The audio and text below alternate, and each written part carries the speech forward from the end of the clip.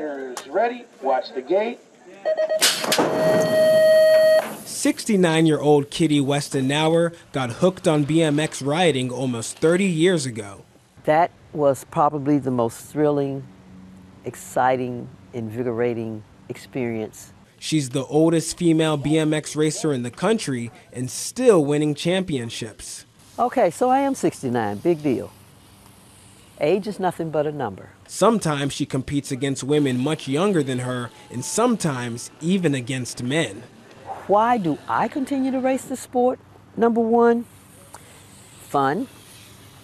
Number two, more fun. And number three, even more fun. She also loves how it keeps her on her toes.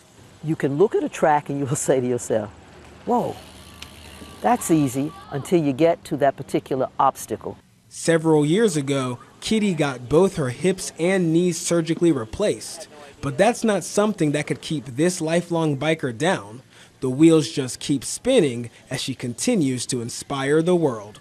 Doesn't matter that I come across the finish line first, or second, or third. I always finish. And as I tell people, every time I get on my bike, I win.